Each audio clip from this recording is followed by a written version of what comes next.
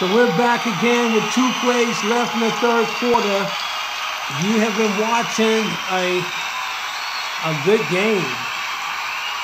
Even though the Saints are losing, trailing 35-21, they're coming back, bouncing back with a vengeance. They're at the 10-yard line. The play that was just called, the call was, the touchdown was taken away saying that um, Sanchez was um, down at the 10, so they brought him back. It's a first down, two plays left, third quarter, so plenty of time. It's a win-win situation for the Saints. Let's take it down to the field, calling signals.